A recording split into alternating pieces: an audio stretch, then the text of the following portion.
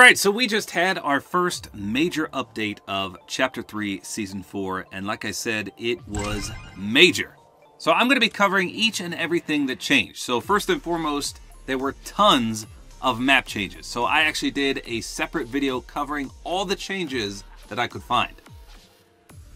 But real quick, the biggest one is that Shifty Shafts was removed and Grim Gables was put in its place. It's a good POI, trust me. But like I said, check out the video I already did. I covered each and every change, including all the rotating POIs now, the new chrome effects, some landmarks got removed, some got added.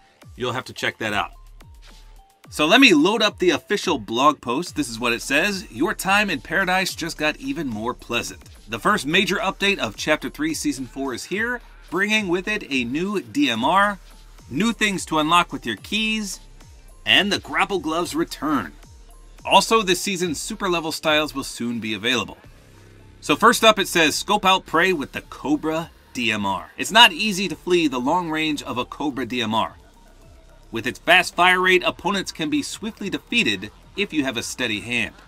Find Cobra DMRs from the ground, chests, supply drop, fishing, loot sharks, and reality saplings fruit.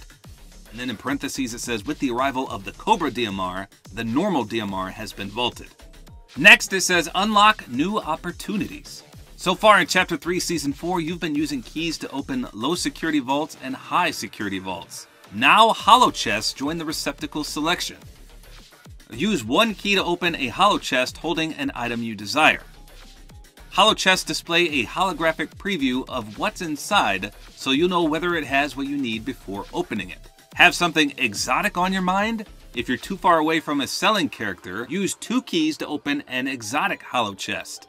Exotic holo-chests contain an exotic item, and as you'd expect, display a holographic preview of that item. Next, it says Grappling with the Past. The Grapple Glove returns. Who says you can't keep vibin' in paradise? The Grapple Glove from Chapter 3, Season 3, Vibin is unvaulted. And then it goes on to say how it works, but if you played last season, you know it's kind of like the Spider Man grapple, but extremely, extremely beneficial. However, I gotta note this, it says, unlike in Chapter 3, Season 3, grapple gloves aren't stored in grapple glove toolboxes. This time, they can be found from the ground, chests, supply drops, and legendary and mythic reality sapling fruit. Grapple gloves will be available until the version 22.20 update. So that means we only have them for this update, and then they're removing them again. Are you kidding me? Come on. I don't think many people read that last line, that they're going to be going away soon. Then it talks about the new Bytes quests. So if you come to your quest and you already unlocked the Bytes skin, you can do a bunch of challenges for his pickaxe, which unlock new styles. So I'm going to do a separate video on that. Stay tuned. And then it also talks about the Chapter 3 Season 4 super level styles. And you can now see those. I'm going to do a separate video on that as well.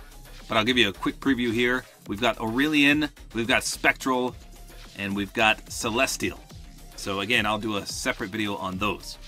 And then they have a section about the detailed squad commands wheel, but you've probably seen that. That's nothing new. It's been in the season since the start. And basically you can put new commands out for your teammates or you can command NPCs that you hire. And then it talks about boogie bombs being vaulted. Most of you probably know that already. And it says the grapple glove is not in competitive playlists, surprisingly. That's weird.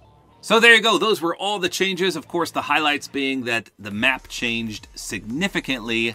The brand new weapon, the spread of the chrome, the super levels, the brand new quest for the Bytes pickaxe, the grapple glove being unvaulted, and the awesome holo-chests are now on the map.